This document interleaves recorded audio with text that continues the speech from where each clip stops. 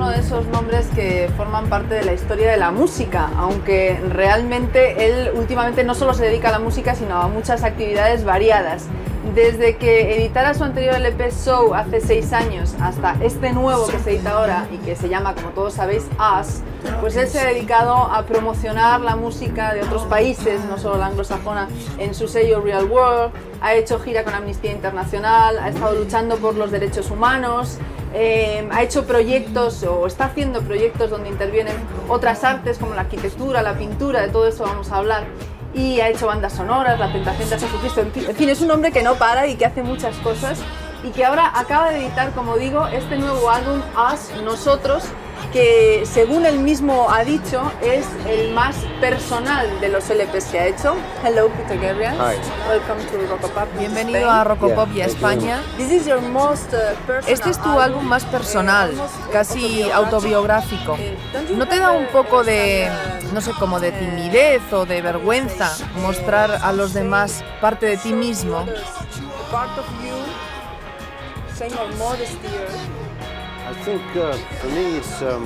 Para mí es importante experimentar. Esto surgió tras un periodo de cinco años en los que estuve haciendo terapia de grupo. Uh, Empecé a hacerlo cuando mi matrimonio se rompió.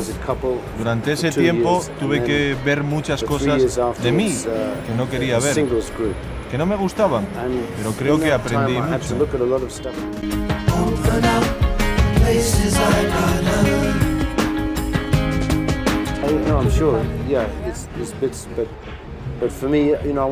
Yo he querido uh, mostrar la parte mala, al igual que la buena, porque la gente piensa que si participas en todas esas causas benéficas, eres una buena persona. Y eso no es toda la verdad.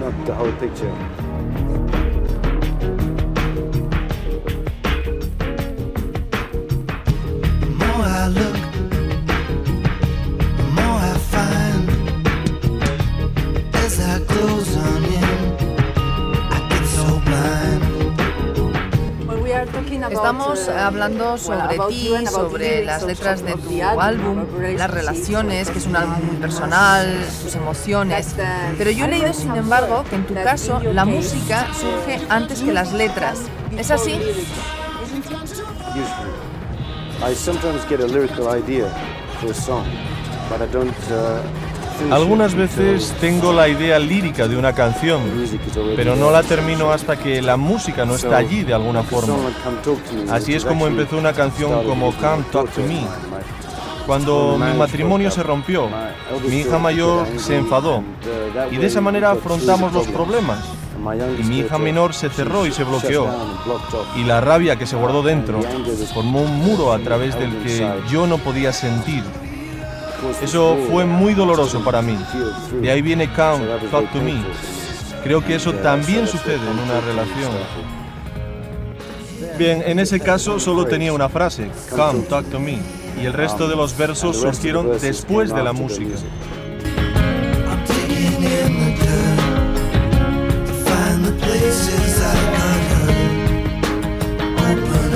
Creo que en ciertos aspectos la música se ha hecho bastante mecánica.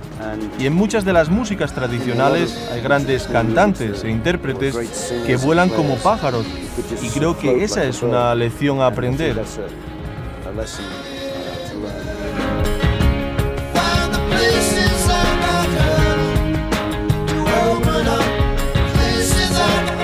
¿Podrías decirme algo sobre tu nuevo proyecto en Barcelona?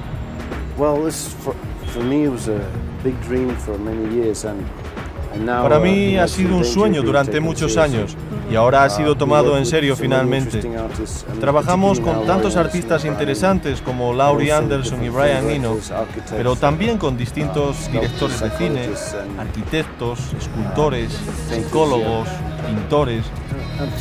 Para mí se trata de intentar crear un lugar, un maravilloso y mágico jardín con mucha agua, tras las cataratas estará la entrada a este mundo subterráneo, diseñado por distinta gente y que permita al visitante entrar para así convertirse en artista y tener la oportunidad de participar.